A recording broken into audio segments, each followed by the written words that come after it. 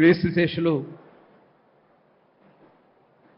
రామోజీరావు గారి సంస్మరణ సభ ఆంధ్రప్రదేశ్ రాష్ట్ర ప్రభుత్వం గౌరవనీయులు రాష్ట్ర ముఖ్యమంత్రి వర్యులు నారా చంద్రబాబు నాయుడు గారు అదేవిధంగా ఉప ముఖ్యమంత్రి పవన్ కళ్యాణ్ గారు కుటుంబ సభ్యులు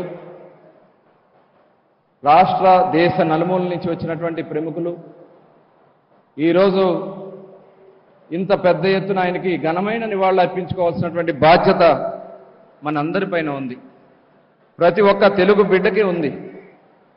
కృష్ణా జిల్లా పెదపూరి పెదపారపూడి గ్రామంలో ఒక సామాన్యమైనటువంటి రైతు కుటుంబంలో పుట్టి ఒక ఆదర్శవంతమైనటువంటి కార్యక్రమాలతో ప్రారంభించుకుని విద్యార్థి దశ నుంచే సమాజ సేవ పట్ల మక్కువను పెంచుకుని పత్రికా రంగంలో ప్రవేశించి పంతొమ్మిది వందల డెబ్బై నాలుగులో ఈనాడు పత్రికను ప్రారంభించి ఈనాటికి యాభై సంవత్సరాలు అవిరామ కృషి చేసి తెలుగువారికి ఒక చైతన్యాన్ని నింపినటువంటి వ్యక్తి రామోజీరావు గారు.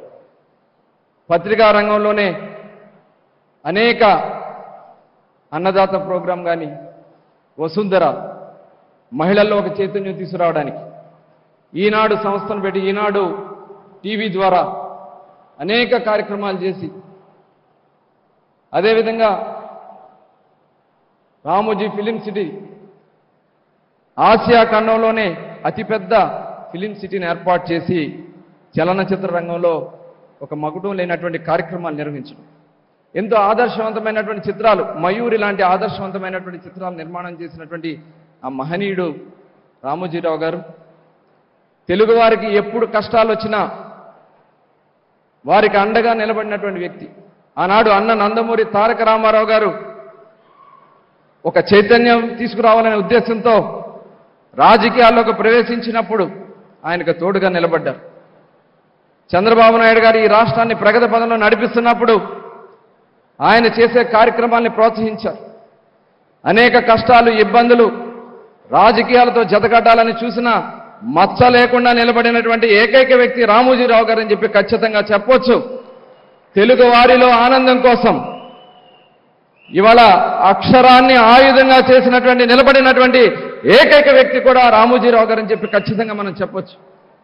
అదే కాకుండా ఇవాళ ఆంధ్ర రాష్ట్ర ప్రజలు పడుతున్నటువంటి కష్టాలను గమనించి ఆంధ్ర రాష్ట్ర ప్రజల కళ్ళల్లో ఆనందాన్ని చూసి మనల్ నుంచి దూరమైనటువంటి రామోజీరావు గారికి అమరజీవి ఆయన పెట్టినటువంటి సంస్థలు ఎప్పుడు కూడా అజరామంగా నిగిలిపోతాయి కాబట్టి ఆయన అమరజీవి అని మరొకసారి తెలియజేసుకుంటూ ఇంత చక్కటి కార్యక్రమాన్ని ఏర్పాటు చేసిన ఆంధ్ర రాష్ట్ర ప్రభుత్వానికి అదేవిధంగా గౌరవనీయులు రాష్ట్ర ముఖ్యమంత్రి చంద్రబాబు నాయుడు గారికి పవన్ కళ్యాణ్ గారికి ధన్యవాదాలు తెలియజేసుకుంటూ సెలవు తీసుకుంటాం.